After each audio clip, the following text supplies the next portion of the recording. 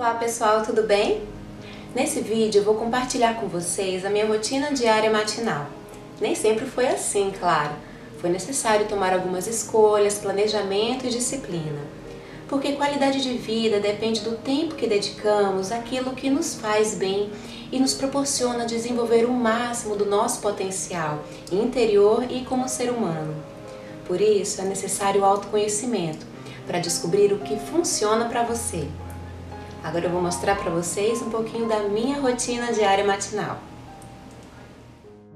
O quarto não tem blackout, então os primeiros raios de sol são suficientes para iluminar e me avisar a hora de acordar, que geralmente é por volta das 5 e meia. Se espreguiçar não é apenas gostoso, mas também muito importante para despertar o corpo.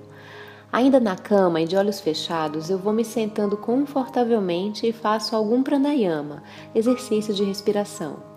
Ultimamente tenho testado fazer a técnica de respiração Wim Hof, conhecida por ajudar a energizar o corpo pela manhã. Também é o momento em que agradeço por mais um dia.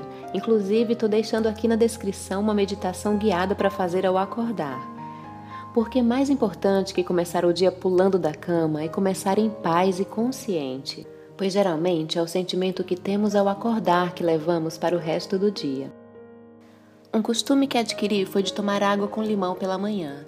O limão tem propriedades anti-inflamatórias, fortalece o sistema imunológico, ajuda a regular o intestino, além de inúmeros outros benefícios. É só espremer meio limão num copo com água natural e beber.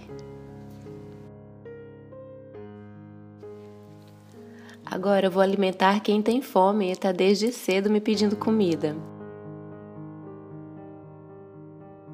Depois vou dar água para quem tem sede. As plantinhas, nossa gente, para mim é um sonho realizado poder regar um pedacinho de grama e cuidar de plantas, sabe?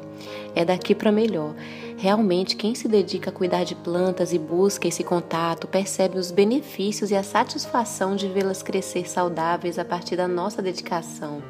Quem inventou que a grama do vizinho é sempre mais verde é porque não gostava de cuidar da própria grama. Aqui em casa eu consegui montar um espaço zen com um deck de madeira numa pequena área ao fundo de 3 metros por 1,5. E esse é o momento pela manhã dedicado ao exercício físico. Eu tenho praticado yoga. Geralmente faço uma sequência simples de posturas do Surya Namaskar, a famosa sequência conhecida como saudação ao sol mas vale a pena dar uma caminhada, correr, pular corda. Se você já gosta de exercício, sabe a importância, não apenas física, de incluí-los na nossa rotina diária.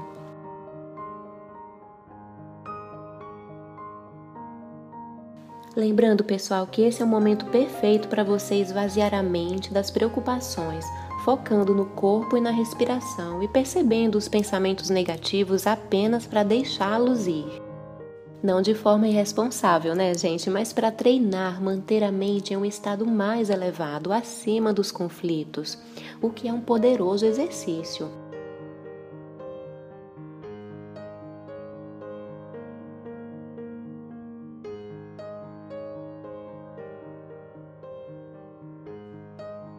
Eu costumo lembrar sempre que enquanto estivermos respirando, teremos condições de enfrentar os desafios que aparecerem.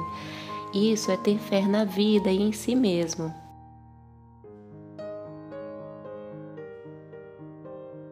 Aqui estou mostrando rapidinho para vocês. E então, concluo a prática mais uma vez agradecendo. É um sentimento muito bom, pessoal, que vamos adquirindo com essa prática. Realmente a vontade que dá é de agradecer o tempo todo. Agora sim eu vou comer. Geralmente não tenho muito apetite pela manhã, vou ter mais fome na hora do almoço. Aqui tem banana, maçã, granola e melado. Depois de comer, eu vou tomar um bom banho gelado e começar os jobs do dia. Agora eu estou pronta para ver a agenda e os compromissos do dia. Geralmente fecho o planejamento e a agenda da semana no domingo e vou encaixando os trabalhos que surgem ao longo dos dias. Relembrar os compromissos ajuda a se organizar e a cumprir seus objetivos de curto e longo prazo. E, como disse Einstein, há uma força mais poderosa que a energia atômica, é a força de vontade. e é isso. É isso aí, pessoal. Espero que tenham gostado. Se você gostou, clique em curtir, fique à vontade para comentar, se inscreve no canal caso ainda não seja inscrito e gosta dos assuntos que eu trato aqui. Eu sou Manuela Gomes, terapeuta transpessoal. Um grande beijo e até a próxima!